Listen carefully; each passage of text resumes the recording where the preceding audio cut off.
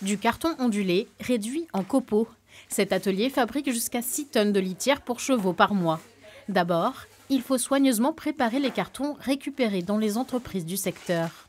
On les précoupe euh, à la dimension exacte et puis on les met en caddie et dès que le caddie est bien plein, c'est parti pour la machine. Cédric Allôme a rejoint l'équipe en septembre. Au début, c'est vrai que physiquement c'était euh, assez euh, rude, mais maintenant on y a pris l'habitude, ça passe tout seul. Depuis le lancement de la fabrication en juillet dernier, six postes ont été créés, tous occupés par d'anciens chômeurs de longue durée à la recherche d'une nouvelle activité. Je bouge pas mal, je bouge. Moi, c'est ce qui m'intéresse. Rester sur place, c'est pas possible.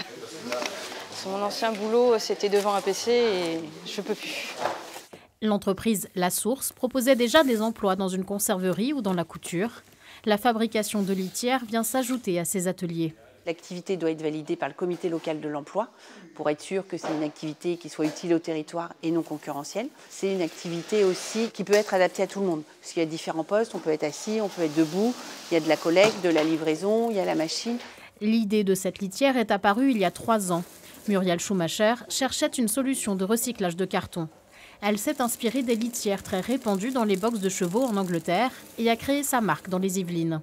Pour le transport, c'est top puisque c'est antidérapant et c'est utilisé en clinique euh, parce que c'est ce pouvoir absorbant qui est recherché et surtout euh, sans poussière, sans allergènes et sans particules qui se collent euh, sur les pansements. La marque de litière a développé sept ateliers de fabrication en France et ce nombre devrait augmenter dans les prochains mois.